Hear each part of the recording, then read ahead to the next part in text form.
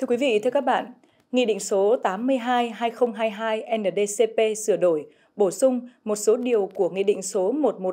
113-2017 NDCP về luật hóa chất, trong đó có bổ sung quy định hàng năm các cơ sở hóa chất phải tổ chức diễn tập phương án ứng phó sự cố hóa chất đã được xây dựng trong biện pháp phòng ngừa, ứng phó sự cố hóa chất với sự chứng kiến hoặc chỉ đạo của đại diện cơ quan quản lý chuyên ngành địa phương. Quy định này nhằm khắc phục tình trạng nhiều cơ sở hóa chất sau khi xây dựng biện pháp phòng ngừa, ứng phó sự cố hóa chất nhưng không tổ chức diễn tập ứng phó sự cố. Thực hiện chỉ đạo của Thủ tướng Chính phủ, thời gian qua Bộ Công Thương đã phối hợp chặt chẽ với Ủy ban Nhân dân các tỉnh, thành phố và các cơ quan đơn vị liên quan trong việc đẩy mạnh các biện pháp phòng ngừa, ứng phó sự cố hóa chất. Điển hình là mới đây tại tỉnh Thái Bình, Bộ Công Thương đã phối hợp với Ủy ban Nhân dân tỉnh Thái Bình và các cơ quan, đơn vị liên quan tổ chức chương trình diễn tập ứng phó sự cố hóa chất năm 2023. Buổi diễn tập được xây dựng trên bối cảnh giả định bồn chứa ammoniac 5.000 mét khối của công ty hóa chất mỏ Thái Bình đã xảy ra sự cố do dỉ hóa chất ammoniac thoát ra môi trường một lượng lớn, tạo ra vùng nhiễm độc nguy hiểm.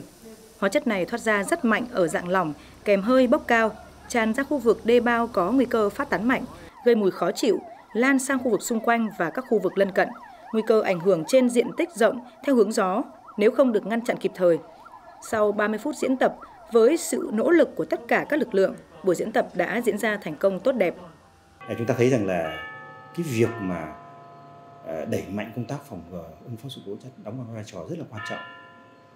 Cái thông qua cái việc này chúng ta có thể nhận diện được những cái nguy cơ về mất an toàn, nguy cơ xảy ra sự cố. Để qua đó là trang bị cũng như là hỗ trợ cho các doanh nghiệp. Làm sao mà để giảm thiểu cái nguy cơ đó.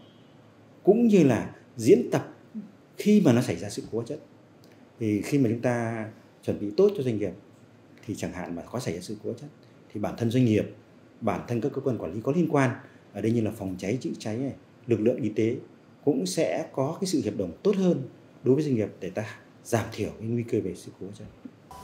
Việc tăng cường các diễn tập ứng phó sự cố hóa chất với quy mô lớn cho thấy năng lực ứng phó hiệu quả, sự chuẩn bị tốt về nguồn nhân lực nhiều kinh nghiệm, trang thiết bị hiện đại, phù hợp trong ứng cứu sự cố hóa chất làm căn cứ trình chính phủ cho phép kêu gọi đầu tư các tổ chức công nghiệp hóa chất, hạn chế các nghi ngại của địa phương khi được lựa chọn làm vị trí đầu tư xây dựng tổ hợp công nghiệp hóa chất.